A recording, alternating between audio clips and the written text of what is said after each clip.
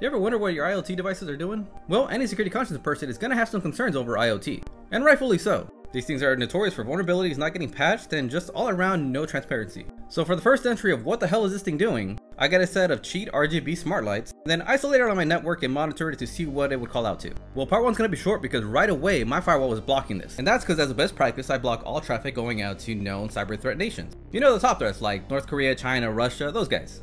And the thing didn't want to pair until I removed that rule. So it literally wouldn't work unless it could reach out to China. And to make things even worse, even the app to control these reached out to China. There's a log of my phone reaching out to China for the first time over this port, which is also a bit strange because port 7799, shout out if you played that before, and is now registered as an alternate BSDP port, which is an Apple extension to DHCP. But there's no reason DHCP should be going out to the internet. I might be missing something here. But either way, for a first entry, I highly do not recommend any Tuya smart devices. So make sure to follow so we can see which smart devices are sketch. Hope that helps, thanks!